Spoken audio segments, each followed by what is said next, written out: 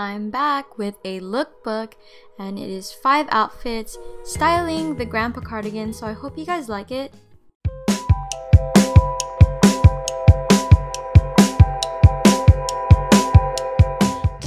So this first outfit is of course styling the grandpa cardigan with anything and I paired this with a lacy top and adding a blue textured thermal under it. It kind of just adds more interest to that top and I'm wearing this crystal necklace that I got from Canada. I really like this outfit, it's very comfy yet very chic.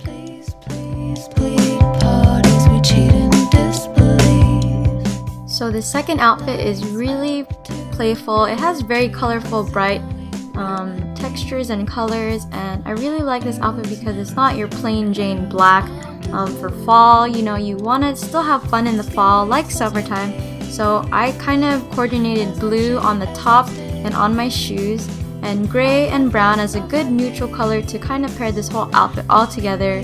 And if you're wondering, this really cute necklace, I got it from shoplately.com from Glint and Gleam. Really like this outfit because it's just really fun, flirty, so this third outfit is very light pastel looking. I really like it. It's very soft. It feels like you're kind of dressed up for the snow, but you're still pretty chic and dressed very girly because you're wearing a skirt. And to still make it very boho, I added a fringe, boot, and feather earrings to make it super boho.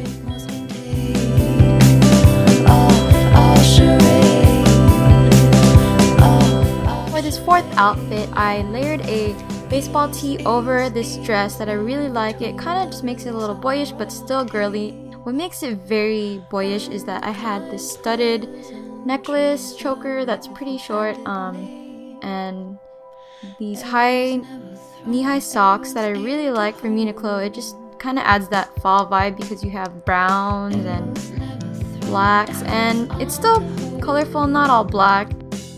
I paired it with a lovely wedge as well which I got from Charlotte Russe. It has a cute little bow detailing and yeah, this is one of my favorite outfits from this lookbook because this look is not something that I usually wear so it's kind of good to go out of your comfort zone.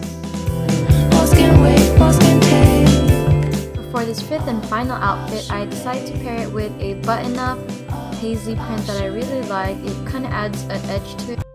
I decided to tuck uh, the bottom of the pants so that you could see a little bit of ankle. Tables, tables set for three.